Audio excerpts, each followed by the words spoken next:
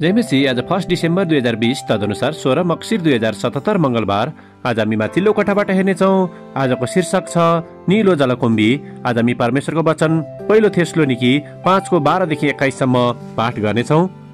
तर भाइ हो हामी तिमीहरूलाई आग्रहपूर्वक विन्ती गर्दछौँ कि तिमीहरूका माझमा परिश्रम गर्नेहरू जो प्रभुमा अगुवाहरू हुन् र तिमीहरूलाई चेतावनी दिन्छन् तिनको आदर गर र तिनीहरूका कामको खातिर तिनीहरूलाई प्रेम साथ अति उच्च आदर गर तिमीहरू आपसमा मेलमिलापमा बस।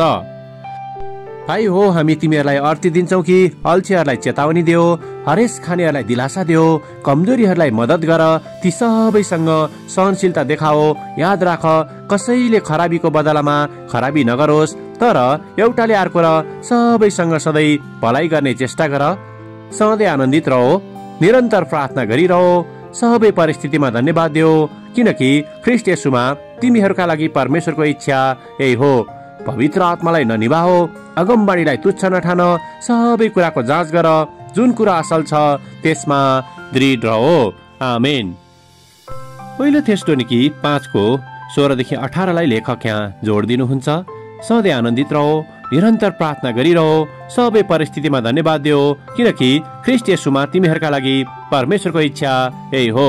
आमेन। लेखक आफ्नो अनुभव र विचारलाई यहाँ यसरी प्रस्तुत गर्नुहुन्छ। मेरो घर नजिकैको बाटो भएर हिँड्दै गर्दा मैले कसैले पनि वास्ता नगरेको एउटा बगैँचा देखेँ।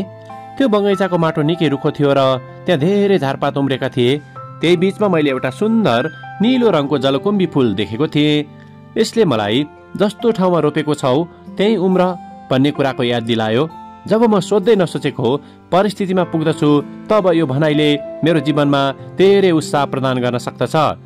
आफूले नसोचेको ठाउँ र परिस्थितिमा हुँदा दयनीय भएर गनगन गर्नु स्वाभाविक नै हो तर हाम्रो उत्तम छनौट भनेको जस्तो परिवेशमा पनि फक्रन र फुल्न खोज्नु नै हो।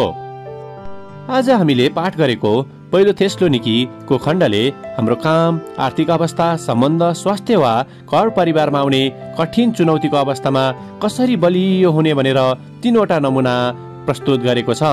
पहिलो हामीले सधैँ यसुमा आनन्दित हुन रोज्न सक्दछौँ। दोस्रो हामीले हाम्रो सम्पूर्ण मनोभावलाई उहाँमा पखाउँदै परमेश्वरको सहायता माग्न सक्दछौँ। किनकि हामीले आफ्नै प्रयासमा अनन्तसम्म रहिरहने कुरा प्राप्त गर्न सक्दैनौँ।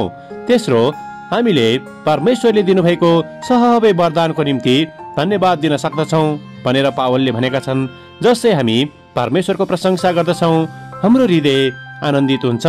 हामी जस्तो छौँ जुन ठाउँमा रोपिएका छौँ त्यही अवस्थामा परमेश्वरले हामीलाई प्रेम गर्नुहुन्छ। आमेन। आजको विचार परमेश्वरलाई प्रशंसा गरेर मेरो हरेक परिस्थितिमा म आनन्दित हुन सक्दछु। प्रार्थना प्रेमिलो परमेश्वर तपाईँको भलोपनाको निम्ति धन्यवाद। हामी जै भए तापनि हाम्रो साथमा हुनुहोस् र हामीलाई आनन्दित र धन्यवादी हृदय दिनुहोस् ताकि हाम्रो जीवनबाट तपाईँको महिमा भएको होस्। यसुको नाउँमा आमेन। आजको लेखक आन स्टेवार्ट दक्षिण अस्ट्रेलिया अस्ट्रेलिया।